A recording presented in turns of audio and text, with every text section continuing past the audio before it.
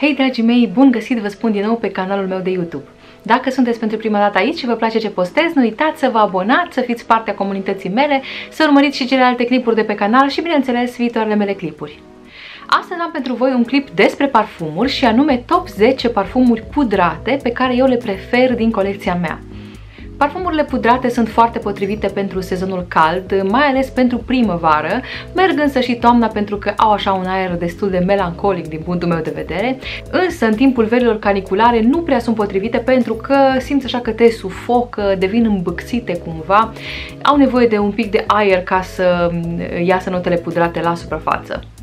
Izul pudrat în parfumuri este dat de câteva note specifice, și anume de iris, de violetă, dar și notele de santal, de heliotrop pot da acest efect pudrat.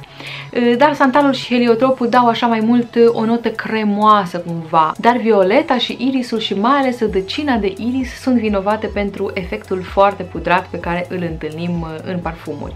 Rădăcina de iris poate da și un efect untos, dar un efect untos pudrat cumva aș putea spune. Deci în acest clip vă voi prezenta parfumuri care conțin aceste note ca miros predominant și nu întâmplător aceste note sunt printre preferatele mele când vine vorba de parfumuri.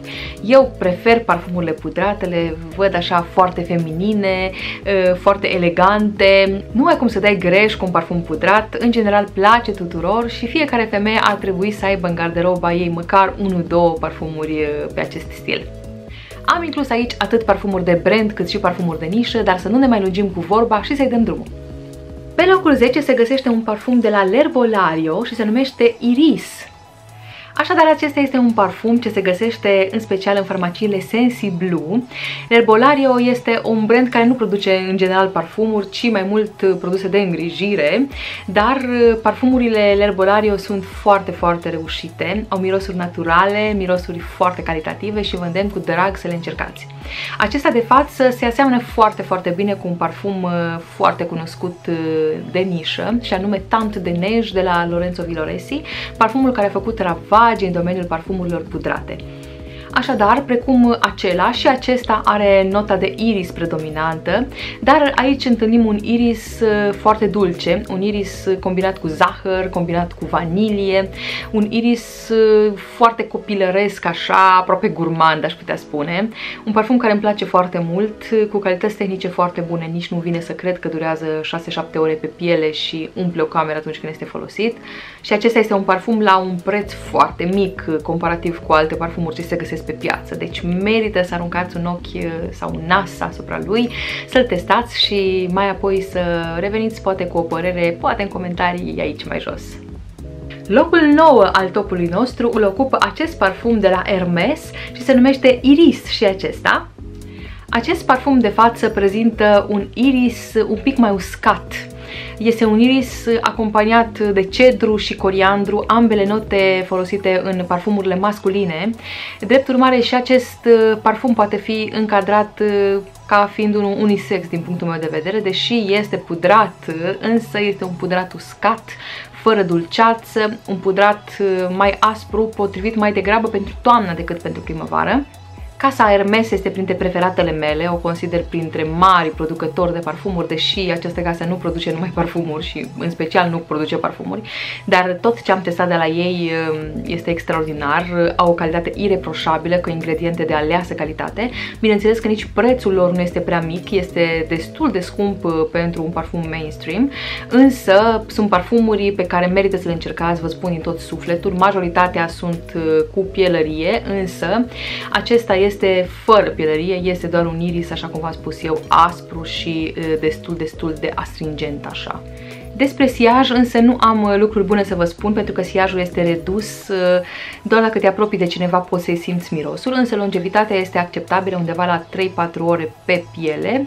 Asta pentru mine nu este neapărat cel mai bun lucru, eu prefer parfumurile care sunt puțin mai puternice, mai prezente, însă pentru toamnă, pentru primăvară și mai ales pentru a crea o atmosferă mai intimă este un parfum foarte frumos. Locul 8 al acestui top este ocupat de acest parfum care se numește Love și este produs de casa Chloe.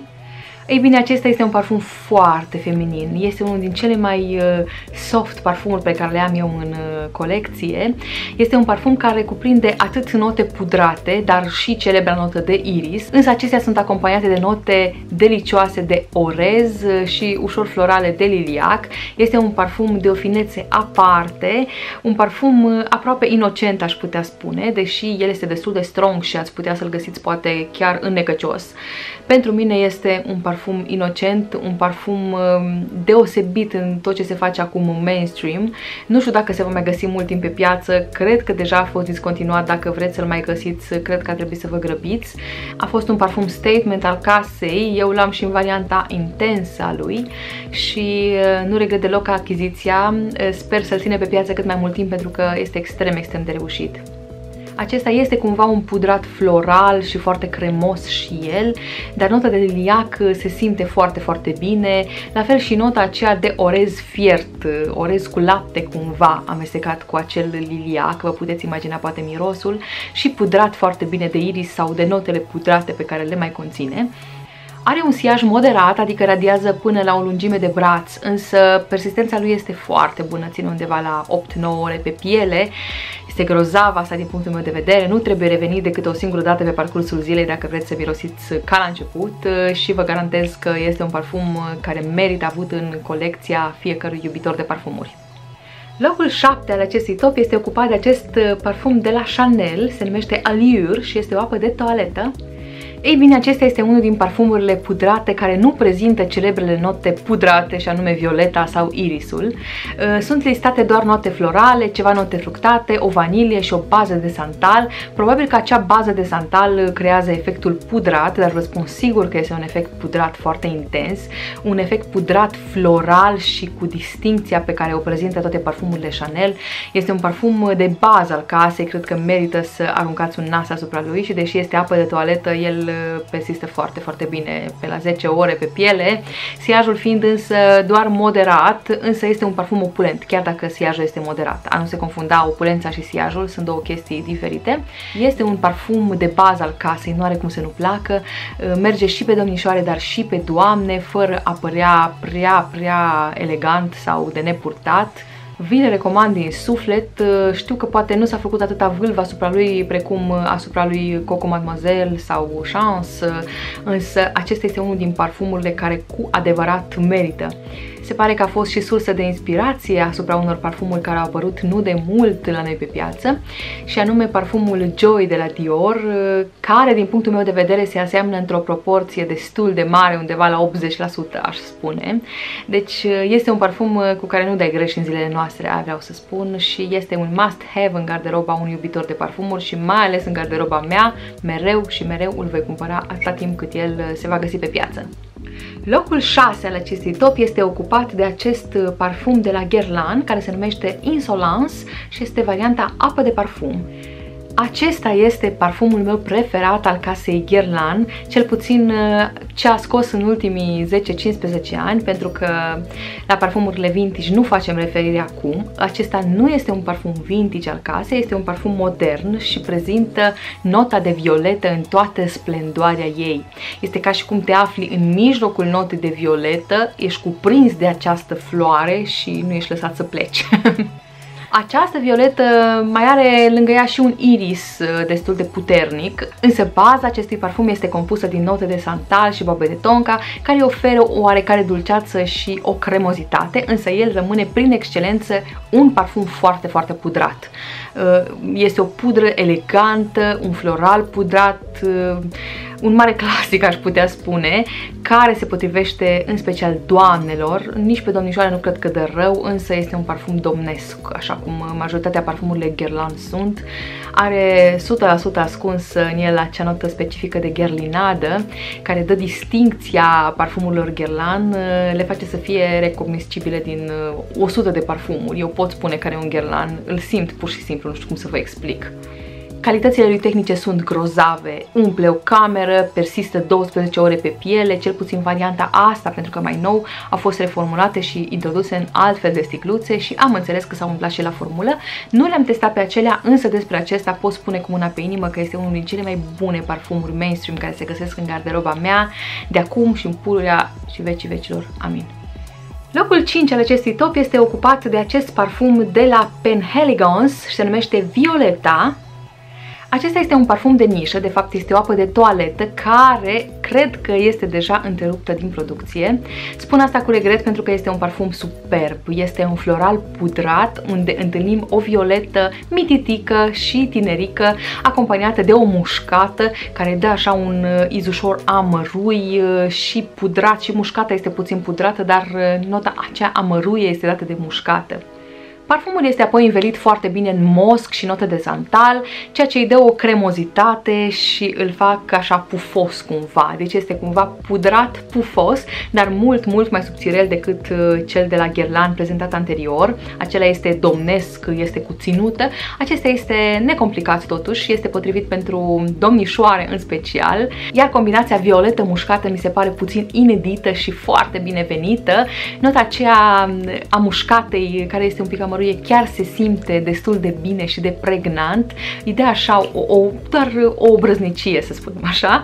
Și fiind o apă de toaletă, siajul și persistența sunt doar moderate, dar așa cum v-am mai spus și în alte clipuri, să știți că această casă Penhaligon, care este una din Marea Britanie, face parfumuri foarte rafinate cu ingrediente de aleasă calitate ce merită testate. Face unele din cele mai frumoase parfumuri florale care există din punctul meu de vedere. Locul 4 al acestui top este ocupat de acest parfum de la Le Labo, se numește Pudră d'Orient. Acesta este iarăși un parfum de nișă, care din păcate cred că se găsește mai greu. Să știți că această casă Le Labo chiar nu se prea găsește pe la noi. L-am luat în urma unui noroc, am reușit să pun mâna pe această sticlă, în urma unui schimb cu alți iubitori de parfumuri. Deci în România nu știu unde ați putea să găsiți acest parfum, însă parfumurile acestei case sunt cu adevărat rafinate și deosebite. Au și un preț mai mare, însă pentru un iubitor de parfumuri prețul acesta este unul corect corect pentru un astfel de parfum. Aici întâlnim o altă combinație inedită, avem și aici o violetă, însă această violetă este acompaniată aici de o notă de paciuli. Da, paciuli care este la modă și a fost întotdeauna practic, însă um, industria mainstream abia acum îl exploatează cu adevărat.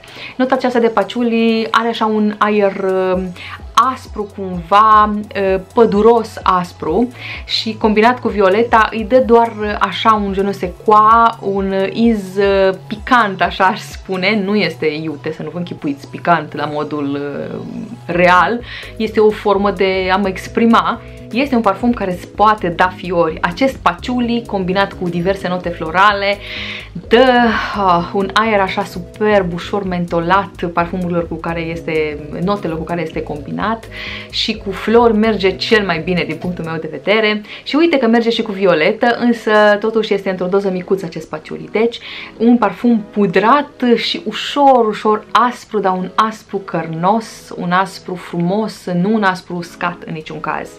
Siajul parfumului este doar moderat, radiază o lungime de braț, dar persistența este undeva pe la 90 ore, ceea ce pentru mine este absolut fantastic. Iubesc parfumurile care rezistă, care nu sunt date degeaba ca apoi peste 2-3 ore să revii cu alte și alte fâsuri. Locul 3 al acestui top cu parfumul putrate este ocupat de acest parfum de la Montal care se numește Powder Flowers. Ei bine, acesta este un parfum foarte, foarte pudrat, dar care nu prezintă note pudrate. Adică acest parfum în lista oficială nu conține nici violetă, nici iris, ci niște bombe de tonka ce acompaniază un trandafir.